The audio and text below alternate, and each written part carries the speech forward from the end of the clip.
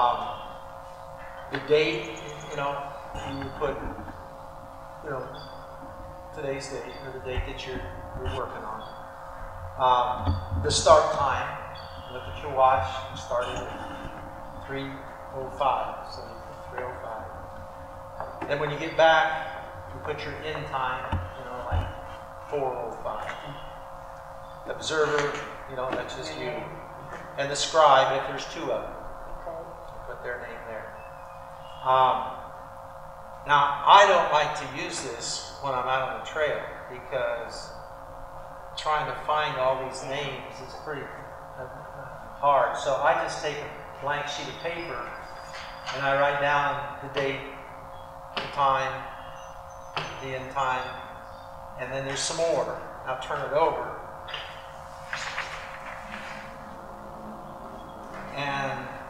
They also, they want to know what the temperature is. So if you have a cell phone, just go to Fort Wayne weather and the beginning and the end. You know, like it was 75 when you started, and then when you stopped, you know, it was 80. So you put both those, beginning and stop time. The wind, um, the beginning wind and the end wind. Now, if you look at the box just below it, you're going to write in one of those words calm, relatively still, moderately windy, windy, or very windy. You probably shouldn't even be out there if it's very windy because you're not going to get very windy. Um, and then that arrow leads you down to the bottom because a lot of people have trouble. Well, how do I know if it's three miles per hour right now? And so this might help you. If, if smoke is going straight up, of course you may not see much smoke, but if, if, if it's going straight up, it's calm. And if there's no wind blowing, it's calm. Yeah, that, that would sense. Relatively still, it barely moves the leaves. Moderately windy, the leaves are rustling and you can feel the wind on your face. If it's windy, the leaves and twigs are in motion, moving. And very windy, um, it's flying up and it's dusty. It's really bad. So that might help you decide to fill what you're going to put in there. Uh, the sky, um, again, you do what the sky is at the beginning and what the sky was at the end. And uh, if it's clear, it can have just a couple clouds floating. If it's mostly clear, uh, up to a third of the sky could be blue. Partly cloudy, that's about half clouds and half blue sky.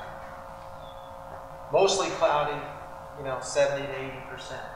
Most of it, just 20 percent is not cloudy. Overcast, 90 to 100 percent. And then they also have hazy, which Which is. I hear that we should have today. Yeah, So, yeah, that is from the forest fire problem. yeah. So that would be what you put in there. So, uh, I just, before I go out, I, I just have a blank sheet and I write these things down, start, stop, wind, temperature, sky, and then I fill it in on my sheet rather than trying to do it on this little paper with all those strange boxes.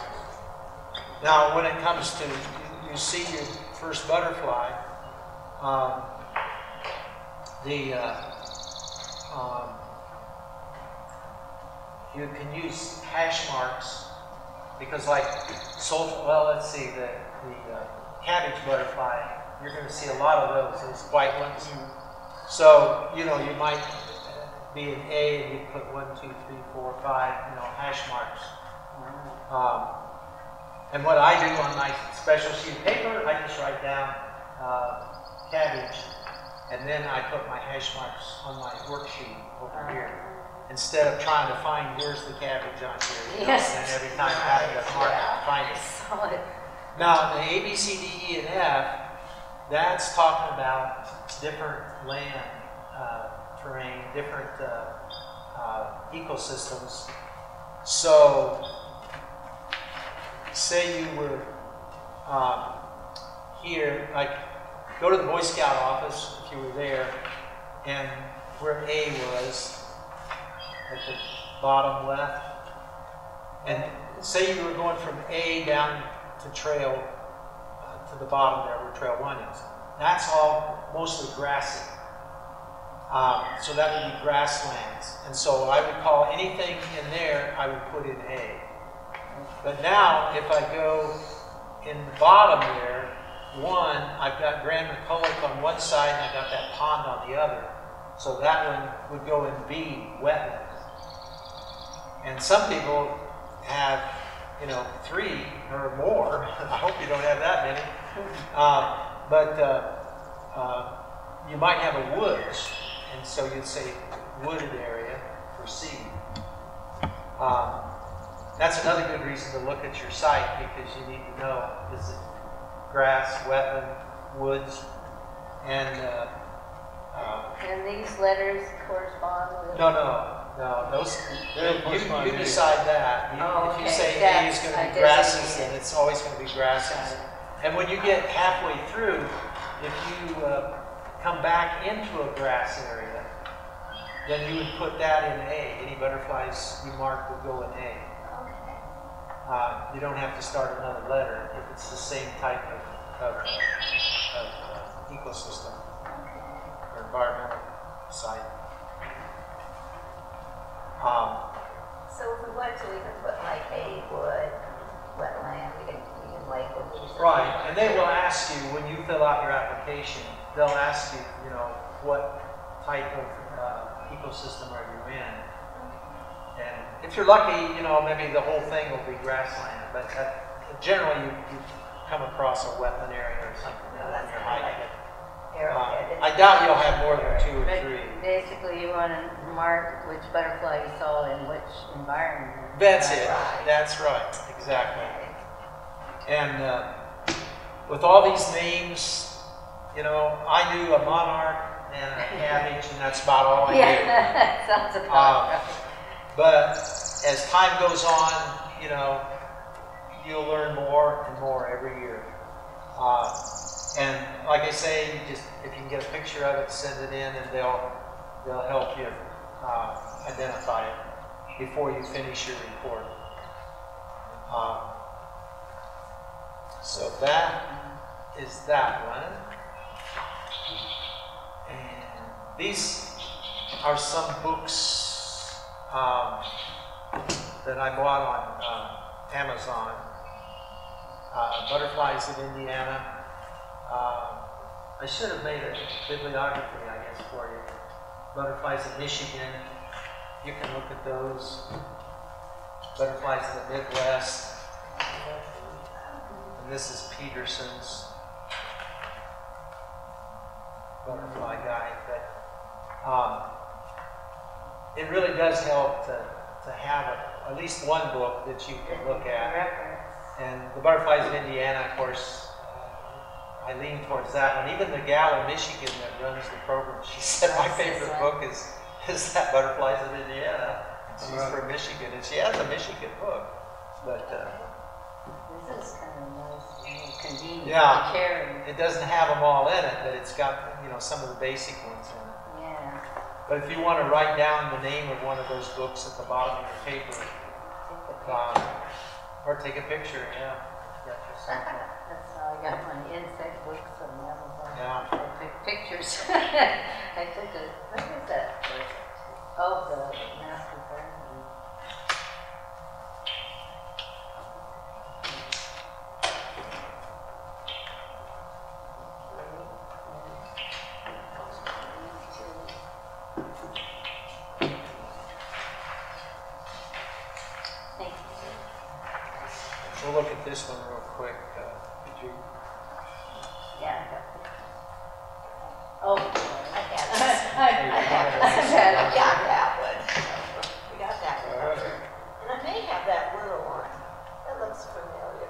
Yes.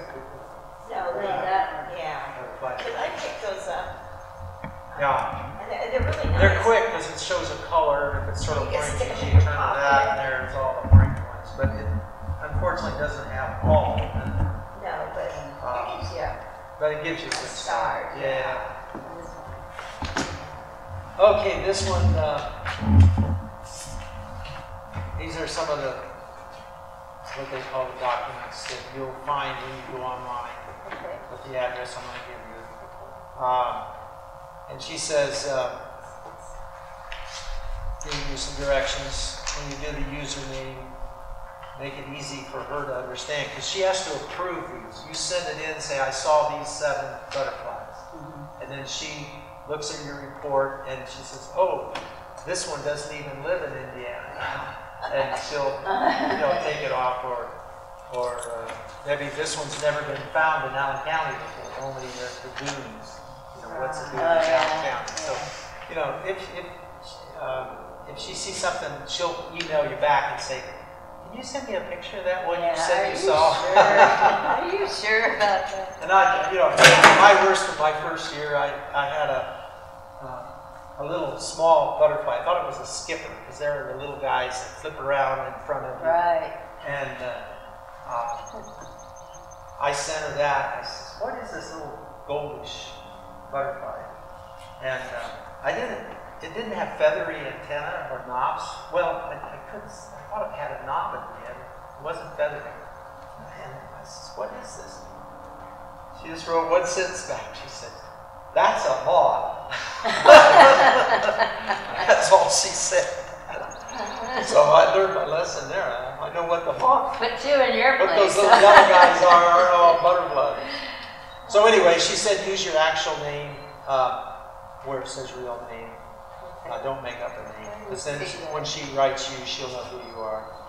Uh, you're- not to send photos to Pollard Base, uh, which is the world, the United States headquarters for this Oh, program. wow. Michigan is just a subset of that.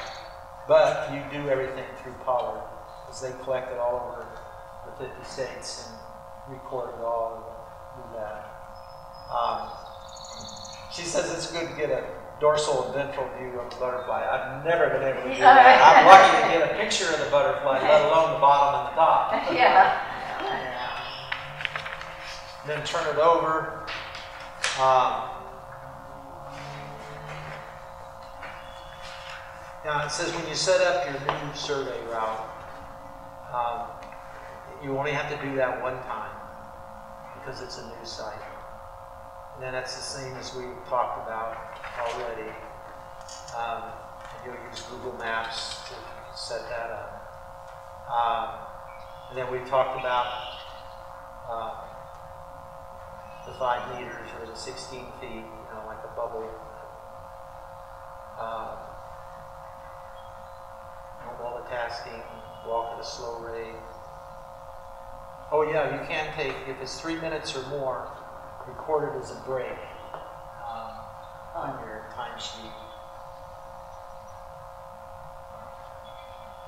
Because I, when I get mine done, there's a bench down there along the Cold Creek, and I just sit on that bench under a tree rest, and then I head back. um, don't record a species unless you're certain. Everyone counts, even if it's just an unknown. Um, yeah. Um,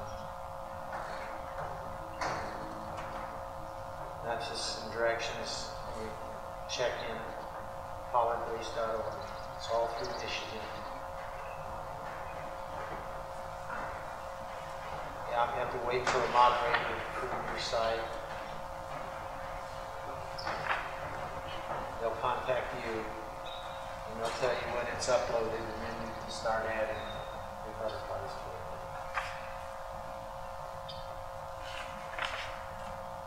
Yeah, so that's basically that one. Oh, was that, one of these I had a whole bunch of addresses on the bottom, must be this one. Yes. Yeah, that- this is the last. This is yours. I Yeah. Let's one of don't want to walk off this. Monarch, it looks like there's more observations of monarchs than there have been. Yeah, yeah. This is our last one.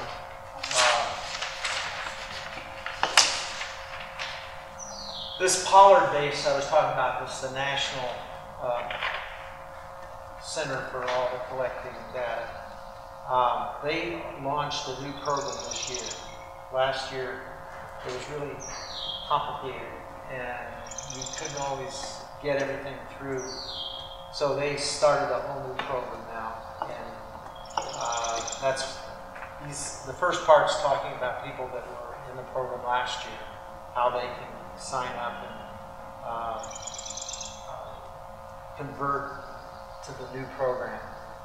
But down where the star is for new monitors, uh, respond with the name, email address you would like to create your new Pollard Base account. The Pollard Base host will be adding new monitors manually. So that would be your first step um, to do that. Um, then they've got questions for you. And notice it says to this email. If you look at the top, um, it says butterfly network at naturecenter.org. That's Michigan, Kalamazoo. And they're the ones that'll set this up for you.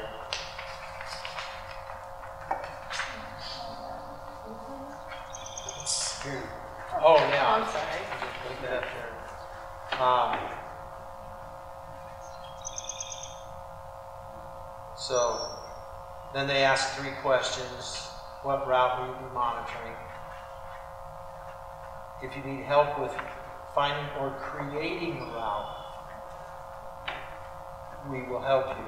So, that's what I was saying, you know, you, I'll talk to Rhonda uh, Spink, that's that Butterfly Network at Nature Center, and tell her, answer those three questions, and just say, if you're a new one, new member for 2023 out of Fort Wayne, uh, check this email address right here. So, that's important. And then on the back side, uh, that top part, those first 12, that's for people that were in it this year. So Oh. skip over that. Just go to the very bottom. Okay. Um, Butterfly ID by Jeffrey Belth. Now, some of you did this already. Jeffrey Belth, does that ring a bell? Look at the author of this book. Oh. That's Jeffrey Belth. I went to a birdie. And he is really good. If you want to know all the little things about butterflies, you can. Unfortunately, if you, it'll take you forever to copy all those letters down. so if you let me know, I can send you a link to that, Okay. and then you can listen to Jeffrey Belth. That would be great. He's super excellent, um, and it's it's really neat. Then naturecenter.org, uh, that's the handbook. Uh, Michigan Butterfly Network Handbook. Okay. Um, that this goes through everything we've talked about, and I talked to you about habitat types. Um, I think I counted like 14. Um, but if it's a developed area like a housing complex or a shopping center, those are all developed spaces. Barren, there's nothing there but rock and sand. Uh, forested uplands, there's three types. Um, grasslands, we talked about that. Shrubland, where it's full of little short trees. Uh, wetlands, is it woody or herbaceous? Uh, cultivated like a field, a pasture. Uh, an old field, savanna oak.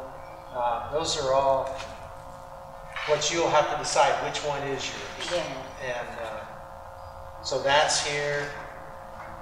How to survey. See, they, there's that bubble I was talking Oh, yeah. about. He's walking at 16 feet each side, 16 feet above you. Um, and how to do collecting, um, entering your data in a Pollard base. Yeah. we, we can go ahead and download. Yeah, I downloaded it. That's the only one I had. I think I think it was I, like 20 pages, so I didn't want to use my one, Butterfly Network at Nature Center. So when you go to the second oh, one Nature there, Center. it says Michigan Butterfly Network yeah. NatureCenter.org. There's the the site. Now you can type that in under yeah. address. Yeah. Sure. And it should pop up. If it doesn't, just email me and I'll send you the original. But it should pop up. And then. no. Yeah. I'll be emailing you, I'm sure. Yeah. Why can't you guys go like that on my yard?